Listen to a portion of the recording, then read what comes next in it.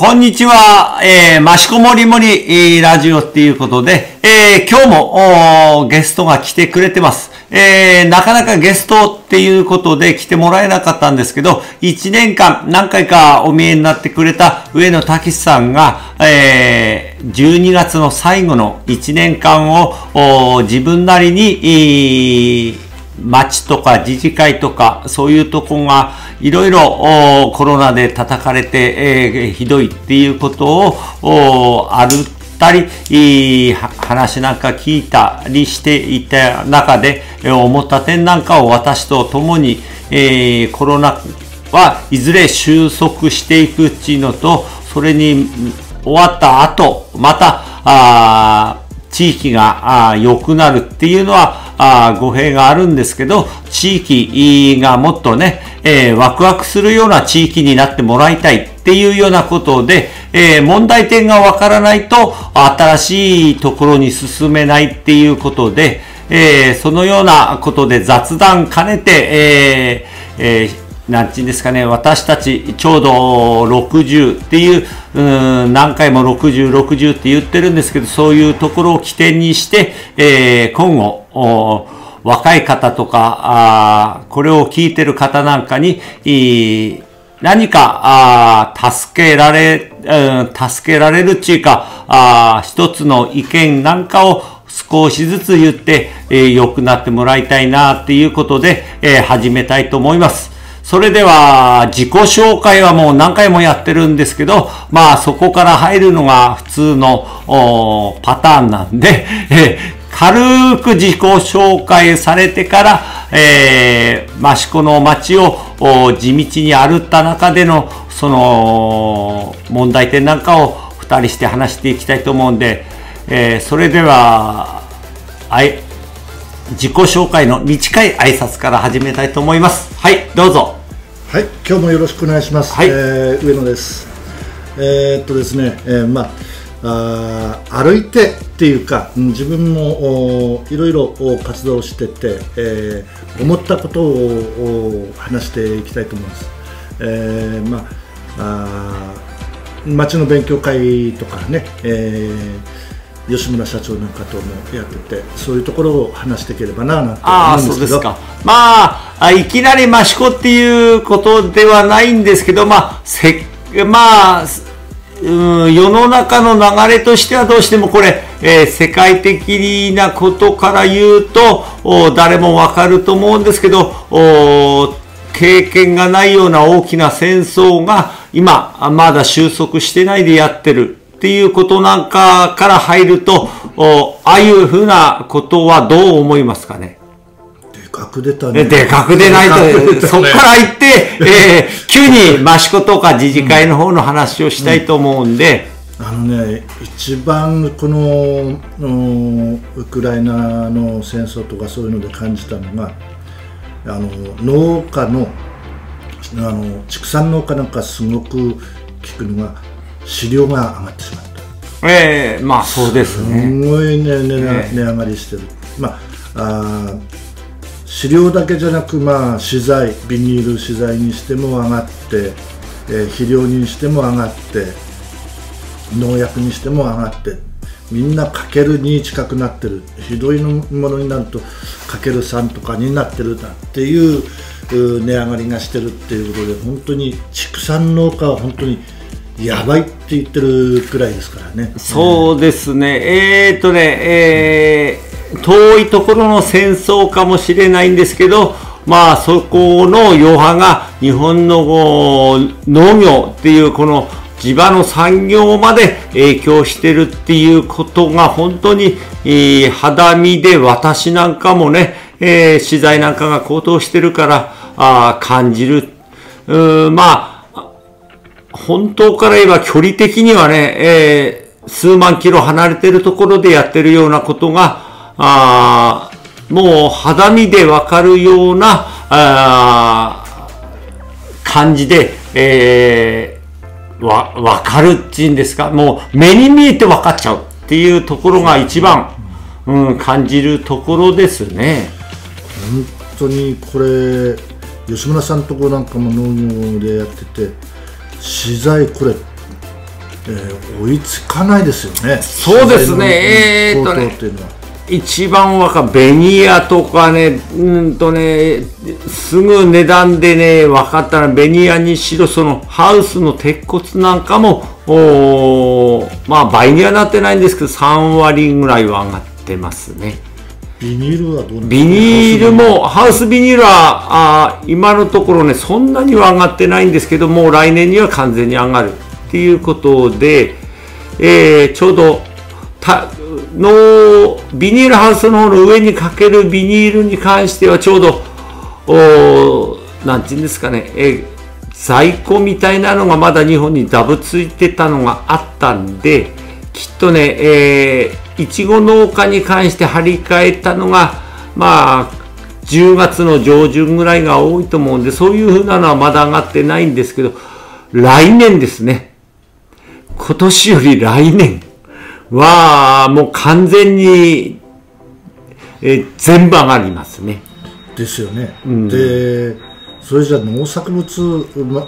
は値上げ、そんなに簡単にできない、ね、まあ、値上げできるのは、本当の恵まれた方が上げられるっていうことで、畜産っていうのも、餌が上がったから肉っていうような感じじゃなくて、うん、肥育って言って、なんて餌を与えて、えー、子供を大人にして出荷っていうような畜産業に関して言うと、先が見えない。半年後のとか5ヶ月後に出荷っていうんですから、それ上がってたのがずっと上がってたので、急に肉が上がるってこともありえないっていうところが、一番、うん、大変なところなんでしょうね。1か月くらい前の、ええ、テレビで言ってたんですけども、やっぱり酪農、えー、農家で、えー、搾乳なのかな、うん、自転車操業っていうのは回るんだと。走れるんだと。あ,、うん、あまあ搾乳は牛乳だから、うん、毎日収穫があってし、えー出荷、出荷してるわけだから、まあ理屈的にはそうだよね。でも、もう、餌が上がってってええ。えー、出荷する牛乳はそんな上がんないようん、飲まないんだよね。飲まないんだ。だから、あまあ、ど、どこだっけかな。ど、どこかの、まあ、酪農農家さんは、もう、破産宣告で農協さんがもうに手を引かれてしまってああっていう感じになってる日本の酪農は北海道を岩手、えー、青森とか東北の方が結構お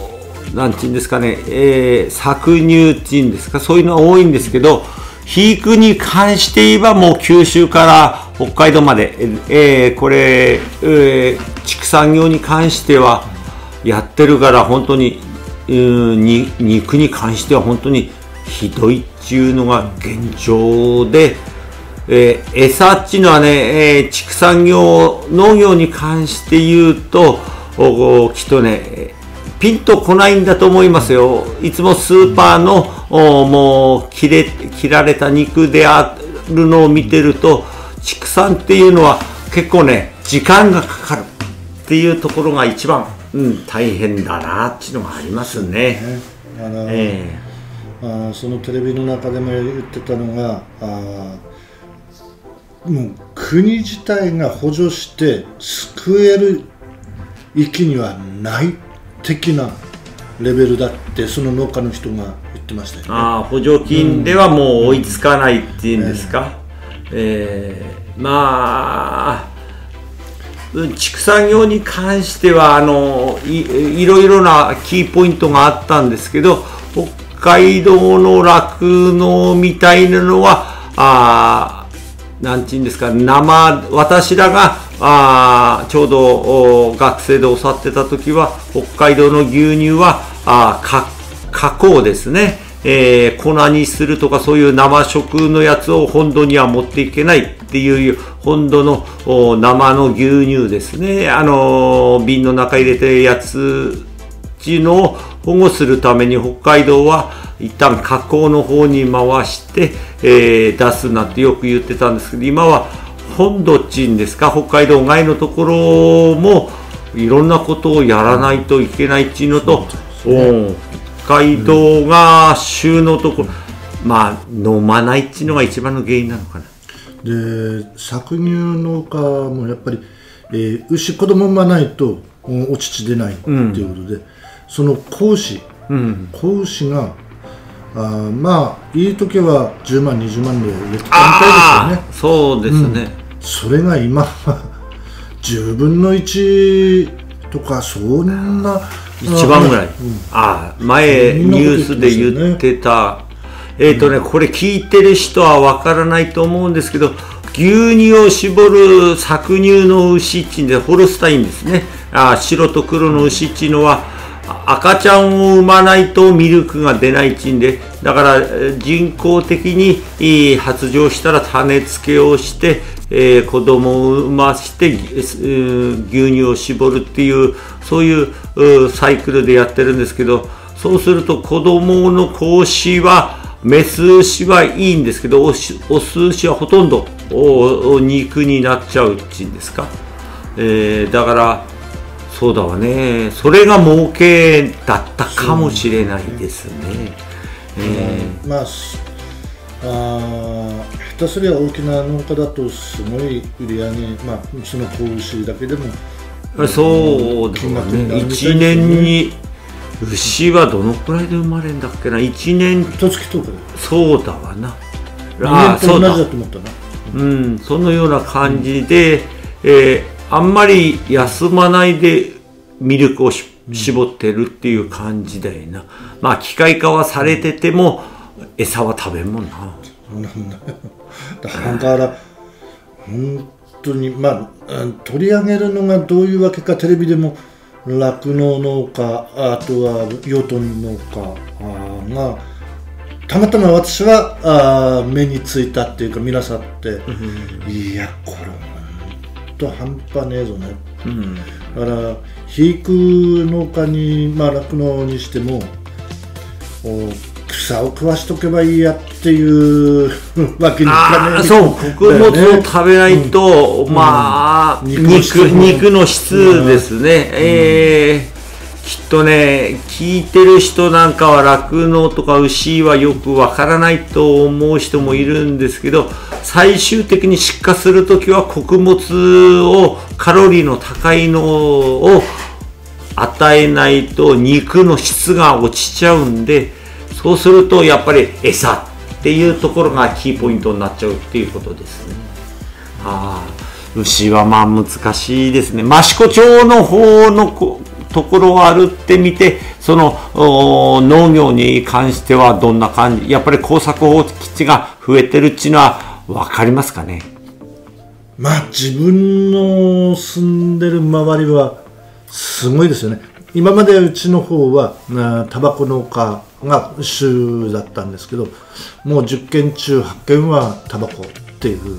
ような地域だったんでもしかすると10件中10件ぐらいがあ、うん、私の住んでる地域はそんなあ農家の集まりだったんですけど、うん、それが今タバコ農家あえらく減ってうちの地域の方でも2軒かなやってる、うん、まあ残ったのかな全体でどのくらいの農家がやってたんですかね？えー、っとねうちの自治会が120ぐらいあって、うん、えー、タバコ農家っていうのは60先あるんじゃないですか。6070ぐらいはあったんじゃないですか。どこのうちにでもあの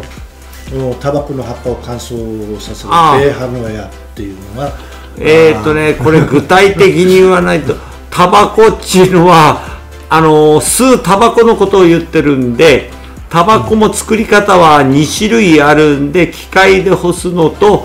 天日で干す。天日で干すのはまあ日本でもあんまりやってる農家が少ないんですけど益子町の特産としては葉タバコが中心で、えー、そこにプラス米っていうのが農家のほとんどの収入源っていうことで、えー、夏ですね、あの、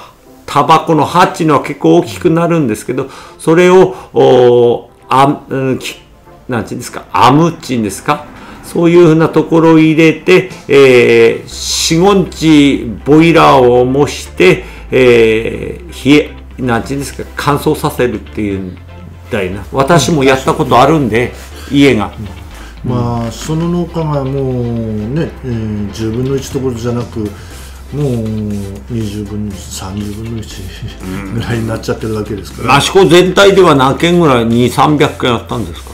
じゃあ聞かないでしょ。あ500件ぐらい。の農家がやってたのが今は今は10件ぐらいなのもっと少ない。で4件か少ないじゃない？えー、何百件もあったのが4件、うん、ああまあ国の政策と体に悪いっちゅうのと、っちゅうのとおまあまあここで喋ってる中でそのタバコをやめてその後っていうのは何をやってるんです？その土地では。まあ後継者がいて、えー、まあ辞めるっていう人はまあ添削で、えー、まあ、あ青物野菜とかあそういうものに添削切り替えたりとか。あとはあ若干ナスに切り替えた人は結構早めに切り替えてたのかな。ああ、畑を利用して、ね。えー、野菜作りっていうことで、えー、あほぼ耕作放棄地になってると、えー、タバコっちのは水はけのいいところで、えー、土地があ太ってるとか痩せてるとかっていう表現の仕方はあれなんですけど、まあ、あ水はけのいいいさなんて土地も傾斜地みたいなところを好んで、えー、育つ植物なんですよ。だからどうしても今度は野菜に切り替えるとしても条件的には良くないと私個人的には思いますね。だから条件は、ええ、あのー、合うんですよ。野菜でも。ただ傾斜のところだと野菜っていうのは合わなくなっちゃう、うんまあ、平ら平らじゃないと労力がかかるから。まあ、そこは 土地自体はかなり、あのタバコってすんごい肥やし使うってるああ痩せてる方がいいんじゃねえ痩せてない痩せてる太ってんの、うん、だからあ野菜をその畑でやるとすごいいいものが23年は作れるっていうくらい、うん、まあ化学肥料でも何でもすごい、えー、量を使うんで。あ残ってるから。残ってるんで。ああ今はじゃあ野菜とそばとか麦とかっていうそうですね。あ誰も考える、まあ、補助事業的に補助をもらってまあ、大型の、まあ、営農集団、うん、とかあまあ法人にしたあ農家の方で、えー、まあその使わない畑を利用させてもらってるっていう状況で、でそこで問題なのがやはり面積の少ない補佐っていうか、まあ、土地。土地だとおやっぱり大型農家っていうのは大きな機械を使うんで、えー、そういうところを、まああ借りちゃうと面積が増やすことができない。時間ばっかりかかって、無駄な労働力になっちゃうということで、この前話して、話してラジオに出てくれた加藤翔一君のところは田んぼ。で田んぼも高地整理が終わったとこと終わらないとこでは、あまあ条件が違うもんで機械がっていうことで、その山間地の畑においても、畑はほとんど100%高地整理はされてないっていう条件だから、すごくやりにくいから耕作放棄地が増えてるっていうのは理にかなってんのかな。だから、まあ、今の機械安定性もかなり余分に改良されてるんで、多少の傾斜では、でも、対応ができるみたいなんですけどそこに入っていく道がねえんだよって。農道っていうところですね,、農道がもう全然ない、えー、まあ昔はそういうところを山道みたいな細いところでそのおなんちんですかね。えー、まあ便が悪いんですけどテーラーに後ろに荷台をつけたようなので、えー、運び出しですか収穫ですタバコの場合は大型機械使わないのよ。あ逆に。逆に。だからそれで間に合ってたのよ今まで。あちあそっか。道が狭くても。だから2メーターぐらいしかないんですね、うん、農道っていうの。は2メーターだね。だからもうギリギリ、まあ、うちの方で使ってる農家のまあ大きさっていうと大体まあ大きくても30ちょいちょいぐらいの、うん、30馬力超中のトラクターなんで、ええ、その軽トラが取れるような濃度だったらバンバンあできちゃう。でもそういうとこは砂利道がほとんどでしょ？砂利ないよね。土。土ですよ。雨降るともうつるつるやっぱり田んぼの中走ってるようなもんじゃないの？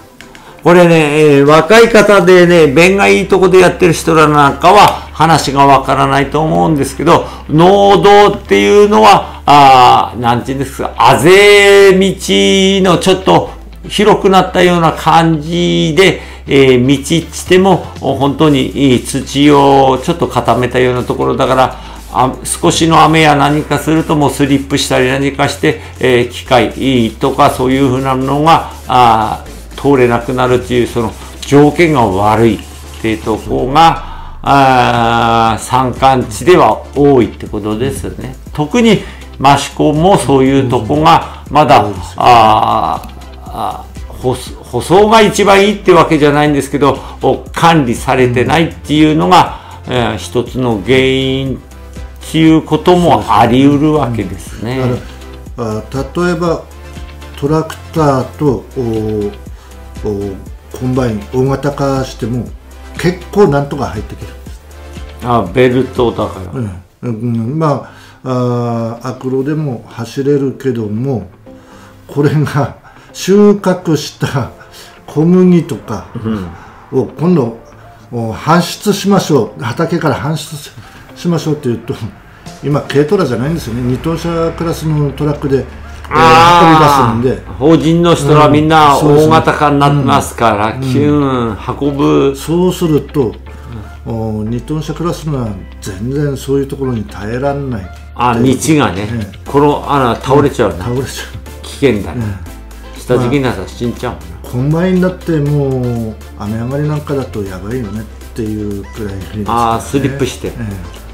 ああ、まあ、あの、なんていうんですかね、住んでるとこで、あの、便がいいとこと便が悪いとこではそれほど差が開いちゃうっていうんですか、そうすると耕作放棄地が出てくるとそこに、小動物が出てあの増えたりしてますますなんていうんですかね、えー、農業としては使いにくい土地になってくるから放棄しちゃうっていう流れですね。悪循環ですよね。負のスパイラルに入ってっちゃうっていうやつですよね。でもおまああこれを聞いてる人です、えー畜産の餌が高いんであれば日本で穀物を作ってそれを食べさせればっていうことなんですけどそんな簡単なわけにはいかないっていうところが矛盾点ですね。吉村さんはあの高知競りっていうのはどう思います？まあ屋根よりはやった方がいいかなぐらいしか思ってないんで。あれって地主さん何パーセントってしょうわけですよね？まあそうですね、でもよく聞くのは原部方式ってなんていうんですかね、うん、土地を余ったのを農家に買わせてその諸経費はそういうふうなので出してあと補助金でやってっていうので、うん、えー、まあまあ100%みんなが賛成すればそこできるとかっていうような感じで、まあ100にいかなくても90ぐらいだらばなんていろんなパターンを聞きますけど、うん、まあ今、まあ交通整理っていうとね、お金が膨大にかかるっていうのが、まあ まあモデル的に山間地の畑の構成になって見たこともないのが現状かな。そうですね。本当に本当に小高い丘を鳴らしていい畑になったねっていうのは見たことある見てると思うんですけど、うん、本当に山間地のタバコを使って使ってた畑を平らにしてそれじゃ小麦とかあ飼料米とかっていう添削っていうのは、多分まだまだ出てないと思うんですよね。ねかかりすぎちゃうよねだって、ね、斜めの土地を平らにするとなると三角だから土をしたとしても崩れちゃうよね。崩れちゃう。まあやんねえ方がいいね、土手が高くなるわけですよ。ああそうそう。使い勝手が悪いし土手が高いと土手が結局メンテをよくやっとかないと崩れるしっていうことでまあ平らにするのは大変だな。大変だよね。うん多分ねやっぱりえー、今そのお金の問題、えー、なんかも、ええー、若い人が要はお金をかけてこの畑をきれいにして自分で使うんじゃなくて貸すのに負担しなくちゃならないわけですよね、何パーセントって。まあこれは、ね、自分の土地だから、そうですね、ね、まあ国から借りてる土地であっても、まあ、名義上自分のであればそこに執着っていうんですか？そういうふうな面もあるし、えー、まあそうだね。これは推進していかなくてはならないことかもしれないけどもおもう農農業をやらない人にすれば農農地って本当に重荷になってしまう。うどうしても管理しきれない。だからだったらお金かけてそんなあ収入まあ時代ももらえないようなあ貸し貸してもらって、まあ、貸してたんだったらば手をつけないでそのまま高速で 放棄地にしちゃった方が自分はいいよっていう人が多いんじゃないかなって思いますよ。私もねでも友人のところへちょっと用事があっていたら目が光ってるのが何頭か見えたんであああれがタヌキかじゃなくてタヌキよりでっかいイノシシなのかなって。えもうなんていうんですかね。そういう小動物の超えたちょっと中動物が益子町のうちもだいぶその工作放棄地で人間を見なくなったっていうのがもうあるんで山に帰らないっていうのもまあ餌も近く人間の近くのがあるっていうのを覚えてるからなのかな。なんか目を目が光ってるのを見た時はちょっと怖いものを感じましたね。ですよね本当に。まあどこのまあ日本全国が歩いてもいろんな問題はあるかと思うんですけどね、うん、えー、益子もいろいろもうもうね、えー、まあうん町の勉強なんかしてたらあこれもすごいね、まあ、人口減問題とかね、えー、工作基地本当に、えー、いろんな問題を抱えててこれをそれじゃなんとか解決していきましょうと言っても行政が解決できるわけないんだよね。まあ、行政、行、本当は、うん、あ個人で、えー、使い勝手いい土地に、重給入れてやるっていうのが理想でしょうけど今の個人のか個人でやるとするとそこまでお金を投資してやるっていう人はいないでしょう。これが現実っていうことかな。まあ、あ今の問題に関しては、あその、なかなかどれがいいっていう選択肢はないんですけど、まあ、あ昔は、あ畑で、えー、なんていうんですかね、農作物があ実りを迎えて、えー、待ってた。でも今は草が生え、は、なんていうんですか、吐き、あのー、たくさん生えちゃって、えー、小動物が、あかけてるっていうのが、益子町の方も多くなってきたっていうのが、現実なのかな、うん、まあそれにはあなん特産がなくなったり後継者がいなくなったりこれいつの時代も農業に関しては後継者っていうのは永遠のテーマだもんな、そうなんですよね。もう本当に後継者がいれば、うん、あバンバンまああ自分ちの土地だから、まあ、使いやすいようにって頑張ってやるかも、まあ、まあ、整備するかもしれないんですけどね、えー、なかなか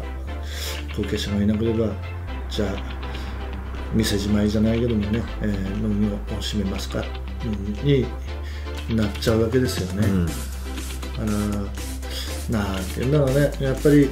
えー行政とともに話し合いながらいろいろじゃあここはこんな風にしますよとかしてほしいっていうのをちゃんと声を上げていかないとやっぱりまあ地域の方の声っていうのは大事なのかなって思うんですよね。まあ、うん、そうですね。としか私も言いようがないけど。そう、うん、まあ、行政頼りにしてて行政はこうに思ったって言ったって違う方向いて、ね、整備してってもまあ個人個人の意見が全部通るわけじゃないけども、うん、全然違う方へ走られちゃうって文句言ってんだったら少しは声を上げないと、うん、ダメなんじゃないかなって。ああそれはそうかもしれないですね、うん、でだってさ長野のあの話、これはいいことか悪いことか分かんないよ、うん、あの、うん、住宅街の公園が使用禁止になった。たった一軒のうちの苦情で、うん、えー、それを市がどうにもおこれはダメだねって判断を下したんだと思うんだよね。うるさくてダメだっていうあ騒音で。騒音で。で、えー、まあ使用禁止にして、えー駐車場か中にするのか分かんないですけどもそんな計画を立てたっていうだから一人の声が無駄になるって思ってたんではあ自分の住んでる町っていうのは良くならないと思うんだよね。やっぱり、うん、えー、ある程度はもう声を発信してそれで、えー、行政に伝えるとかね。そういうことをしていかないとまあ地域は良くなっていかないのかなって思いますよね。地域を良くするっていうのは、うん、まあ個人個人が力があればいいんですけども、うん、今の時代力がだいぶなくなってきてるから本当は個人で高知整理を工夫しながらやるっていうのも一つの考えだけどそれは不可能に近いしな。そうなんですよ。生産性があれば個人が、うん、個人個人があそこにお金をかける気になるんですよね、うん、生産性のない土地にさてそれじゃあ何百万ってかけるよ かける気にはならないわけですよね、ね。まあそうですね、うん、まあうんまああ畑なんかもそうなんですけど山なんかももう燃料落として、えー、なんていうんですか木を切り出したり何かもしないから山自体も荒れ果ててるっていうんですか、うん、そういうふうな私有林、うん、個人が持ってる山林とかあ森なんかもそういう傾向が多いのがあまあ益子町の実態は実態ですね。ですね。えー、まああ山の裕福にはなってきてる。ある面裕福にはなってきてるんですよね、まあ、あ山から木を切って持ってきて燃料にするなんていうこともなくね。うん、もう、えー、私なんかがもう分かる。だからもう60年前の頃からだんだんそういうなのがとほとんどガスが入って、えー、風呂なんかも普通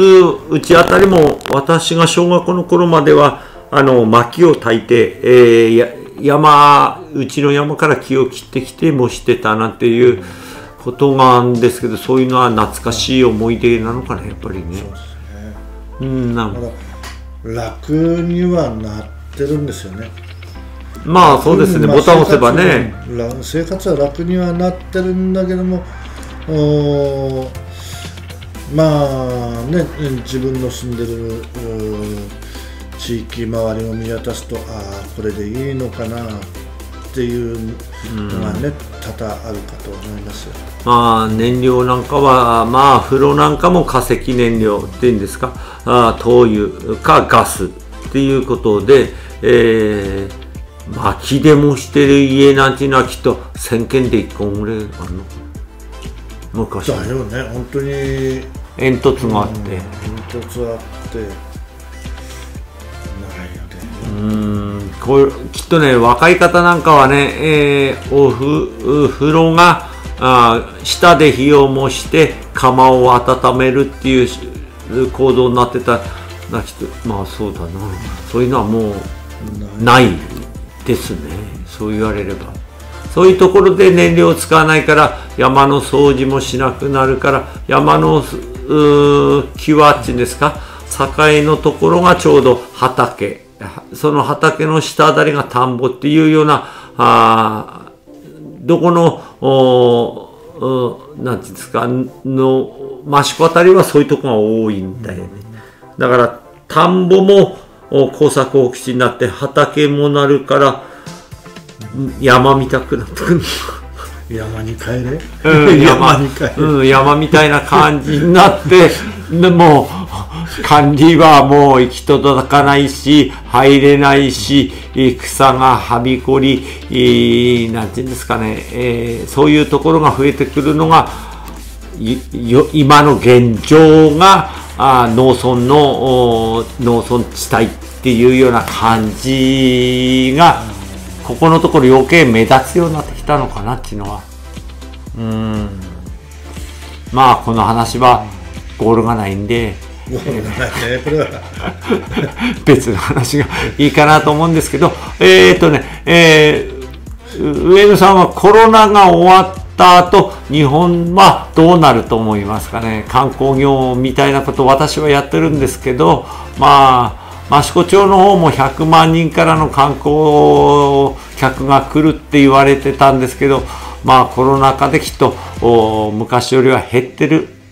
とは思うんですけど、もうインフルエンザと同じようなシステムに、えー世の中の流れがなってきてるような感じなんで、もうコロナだからあ経済を止めるっていうようなことは考えてないと思うんで、えーその次ですね、前とは違うその人の動きなんかをはどんな風な感じになっていくと予想ですね。そうだってまだなってないからわかんないんだから予想でしょうね。これ、えーまあ、コロナがもうインフルエンザとかそういう、まあ、ちょっとした病気扱いになるなってどうなるだろうとは思うんですけどもなってその後の経済の流れっていうのはまあ自分をものには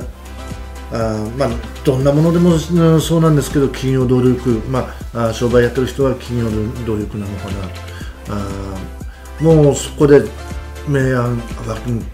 ちり分かれるのかなと思いますね、やっぱりにこ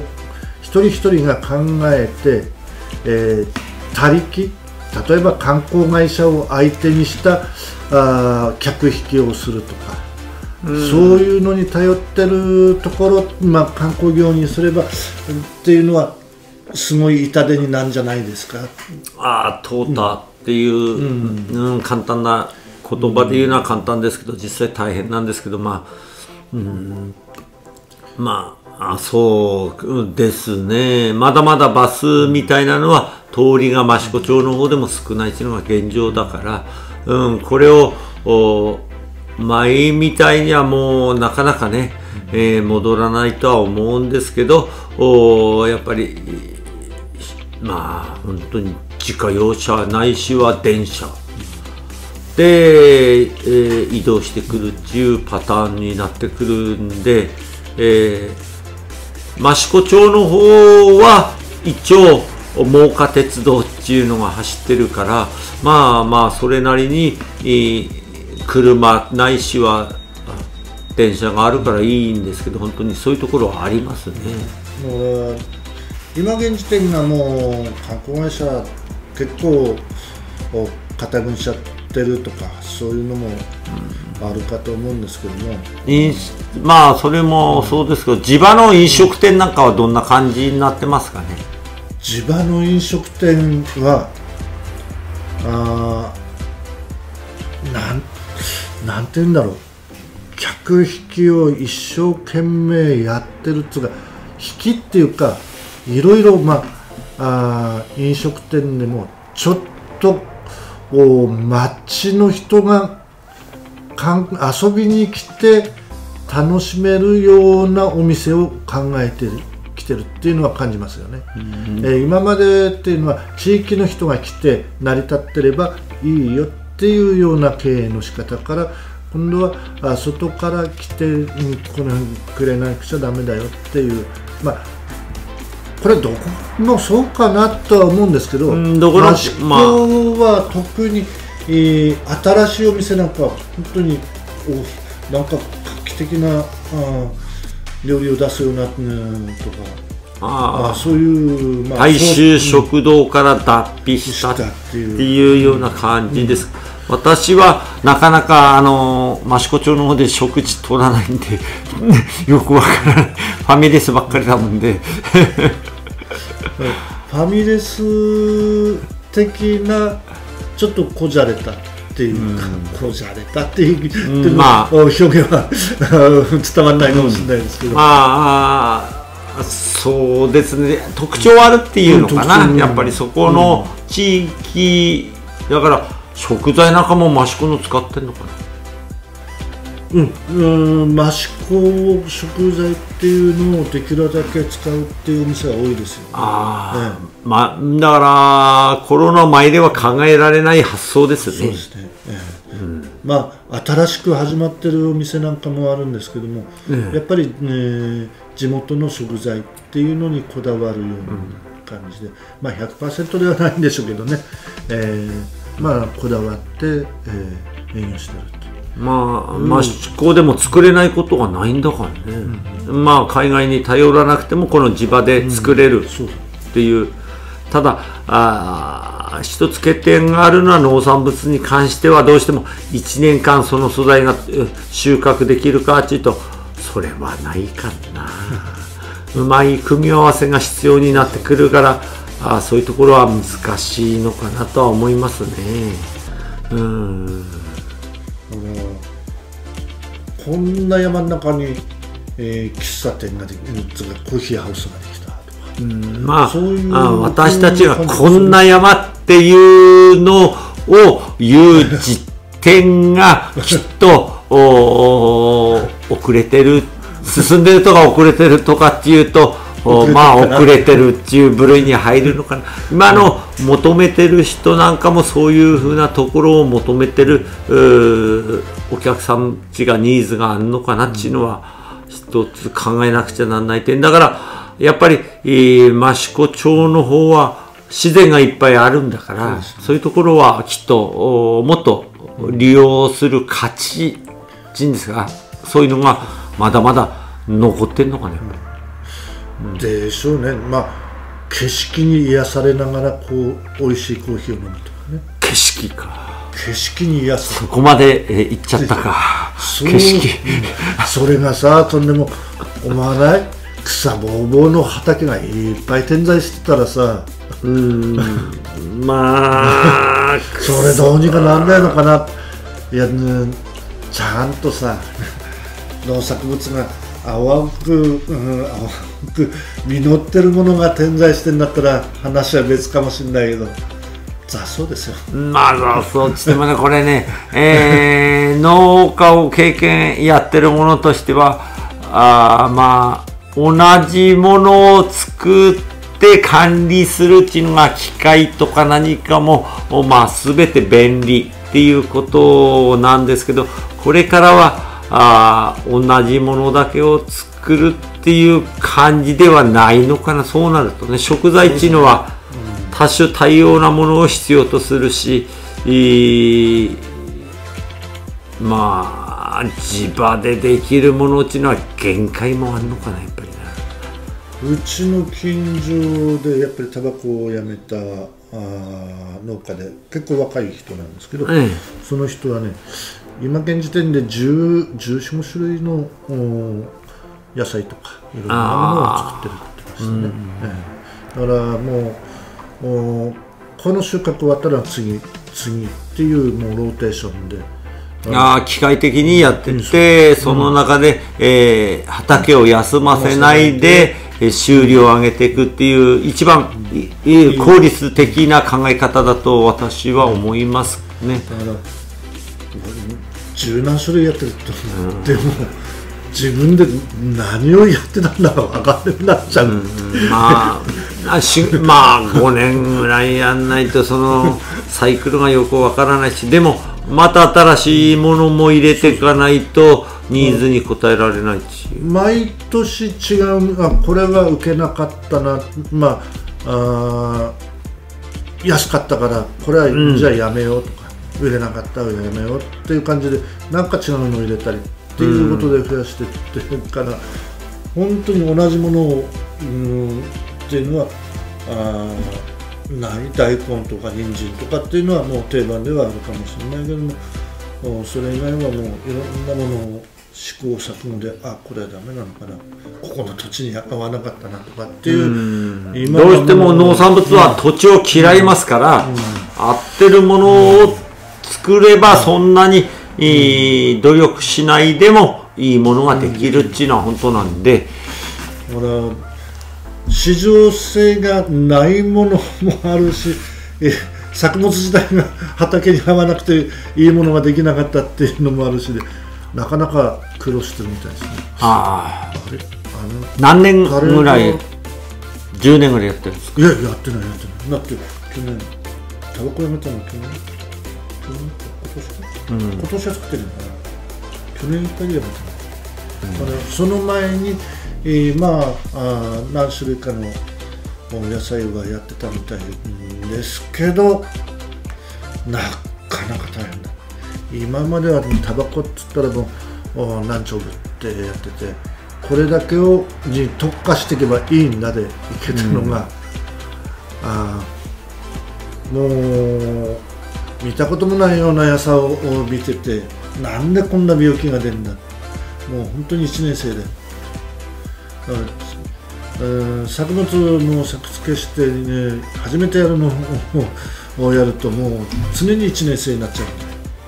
う。まあそうですね。経験がない病気が出たそんなことばっかりだよ、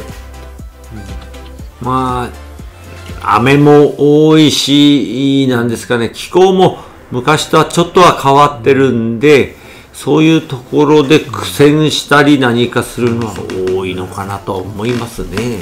だから吉村さんのとこでは今ねいちごに特化してやってられますけどもそれに関しては恵まれてんじゃないですか？いや恵まれてたまたまたまたまなんでそういうのはまああまあまあ、うんと、そこらのところは私もわからないんで、無我夢中で、えー、やってるっていうのが本音があるんですけど、まあ、あ10種類とかそういうのを組み合わせていくっていうのは、あその野菜野菜の癖ですか、特徴を、をつかまないと種をまく時期や何かもありますから、どうしてもね、露天だから雨が多かったり、風なんかも多いと被害が出ますから、そういうところは大変ですね。でもう一軒の農家さんは、ハウス、レッドハウスで、うん、ナスを作ってて、ええ。ー、今、ナスを、うん、極端に減らしちゃって、やっぱり十何10種類くらいローテーションで、えー、西洋野菜を今ああブーム。ブームでで、うん、これが、うん、まだ面倒くさい、えー、農薬が本当にうるさくて、うん、まあ作れば買ってくれるんだけども農薬の方がなんか厳しいみたい。ああ、口に生で入れる、うん、そうそう。入れるからどうしても。今サラダ系で使うんで、えー、サラダに使う青物が今すごく人気みたいなことまあ健康食ブームもあるから、うん、一番いいところへ着目したんじゃないのかなとは思いますね。でも反対に収穫や何かやそのお客さんに合ったものをコンポーザーの放送する時は手間食うなあれはね農協さんの指導かなんかで何種類かは作るようにスタートはなったって言ってますね、うんうん、普及じゃないじゃない農協って言ってたかな。うん。まあ連作障害かなんかでナスが、うん、うまくいかなくなったっていうのがあって。ああ、ええ、添削っていうようなことで、うん、ハウスであればだから土を全部入れ替えをすればよかったんじゃないの？いやとんでもね話だろって、えー、まあ作物根っこ何メートルって、伸びんだよねって、うん、それを土取るっつったらレッドハウスの中不可能にしか。どうにもなんないでしょう、うん、まあまあそうだな連作障害じゃいろんなその病気が出ますから農産物は作るのは本当に大変かもしれない。な、うん、刃物に関して言えばでも回転率がとてもいい普通のまあいちごなんかから比べればそっちは時間が短縮されてますからきっと楽かもしれないな、うん、あれ吉村さんは上の川の方に、えーごぼうのお母さんっていうかああ聞いたことある。あそこはすごいですよね。益子にもかなり入ってきていて、うん、茂木の方も入ってるみたいなんですけど。でも連作できないんだって。そこね猫部線中違う猫部病。だからもうその土地を借りるのが大変。ああ探して歩くの。探して歩くの。あ作らせてくれっていくらでも作ってもらいたいね使ってもらいたいねと 次借りてくれる人がいなくなっちゃうんだよ、うん、次は難しいな。まあ工作放棄地をなくそうっていうのは超一旦や少しの考えでは無理なんだなやっぱりな、本当に、うん、でもね、えー、人間食っていかなくちゃなんないものだから、うん食べ物は絶対なくせないものでありながらなんか大変だよな。まあそりゃそうだ。ね、野菜ばっかり食べてるわけじゃないから畜産肉も食べたり川の川じゃない。海の魚なんかも食べなくちゃなんないからどうしてもそういうふうなまあところはあるよな。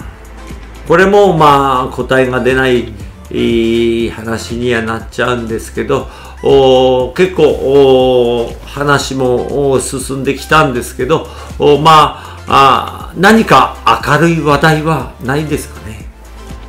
明るい話題？うんだねと最後にはもうそこを言って まあ希望を持てる田舎っていうんですかまあ益子も田舎なんですけどそういう田舎の人らが聞いてる自分が田舎だと思えば田舎だし都会だと思えば都会なんですけどまあ私は自分の益子町は田舎だと思ってるんで。田舎だ。思いっきり田舎だそう,、うん、そういうふうなところで、えー、今後進む人らなんかがあ田舎でも胸を張って農業を続けていける何かあ締め的なやつはないですかね。締め的なやつ、難しいこと言うんじゃないか。いやいやいやもう時間が時間がだいぶ押してるんでっていうのとまああ何かこのおこういうまあ難しいな本当になまあいいことっていうかやっぱりまあこの田舎の町だからこそかもしれないですけどもやっぱり町の方も農家っというのは大事に見てるのは見えてますよね。どうにかしてやらなくちゃ。というのは感じるところ。あ行政も。行政も、うん、まあ国なんかもそうでしょうけどね、うん。まあ、自然もそうかもしれないけども、お自然イコール手を入れた自然になってしまうところもあるかもしれないけども手を入れないと本当にどうにもならない自然ですよね。自然といっても、うん、手を入れなければもう本当に、えーね、イノシシでが暴れ回ってるようなあれは暴れたなそういう街になっちゃうからね、うん。コンビニの自動ドアにイノシシ開けて入ってきたような話だとどうにもなんないからね。でも、私は、その、育ったところはまだコンビニがないから、そんなにたまげたことではないんですけど、まあ、あまあ、本当に、まあ、ここで、あの、うなずいてても、いい方向性には進まないと思うんですけど、まあ、あ何か、あその、地域に合った特産品を作って、えー、海外のものとは違う良さですね。重要なことで進んでいかないと、日本の農業は、どうしても企業は利益だけを追ってるんですから、安ければ海外からどんどん輸入して重要な感じで日本の食料は賄われてるっていうのもそろそろ考える時が来てるかもしれないんで、えー、その土地は空いてる。空いてるけど作るものがない、えー、でも海外からはあ買ってるっていう。その矛盾だらけだね。矛盾だらけうん。締めがなかなか明るくならないっていう。でも町長はねす今度の町長って、えー、町民の声を聞きますって、頑張ってますよ。ああ町民の声を聞かないでいくら町を動かそうよくしようと言っても満足してもらえない、うん。うん、笑顔になってもらえないって言って、益子の町長さんは私らのちょうど地域の先輩でもある人なんで、まあ、あ地域人ですか、この、やっぱり、田舎そう農農業も経験してるし、うん、そういうふうなところで、えー、農地っていうのと農業の農村地帯だから、うん、あそういうところでなんかね本当に新しい農業の方向性なんかが見出せれば本当にvery good です。本当に、えー、まあ100人の意見を全部まとめ、まああ叶えますよっていうことはできないかもしれないけどもある程度のね、えー、まあ夢、夢、夢みたいですけど、まあ、ね、先を見通した、うん、あ進む方向性と、うん、若い人。そういう話が多いなって言えば、うん、そっちに重点は置いてくれるスタンスは取ってんじゃないかなと思います、まあえー、締めとしては、その、益子町は、あ今後の農業とか地域を良くすることを模索しながらでも前に進んでるっていうのが、えー、今年の二人の話し合いの締めかなと思います。まあ、あ来年もラジオっていうことで、もう一週間で年も明けて、また新しいスタートっていうことで、えー、YouTube の方もいろんな人をゲストに呼んで、えー、進めていきたいと思います。えー、最後の頃になると、私一人で今度、いちごの総括みたいなことで、えー、自分の思いなんかと反省点なんかを述べていきたいと思うんで、えー、もりもりラジオ聞いてください。今日はこの辺でおしまいです。バイバイ。バイバイはい、こんにちは。吉村農園の吉村です。12月1日からいよいよオープンしました。えー、12月1日のね、えー、おすすめ品種はとちあいか、えー、栃木県を代表する品種です。とちおとめより粒がちょっと大きくて、とても甘いです。皆様のお越しを待ってます。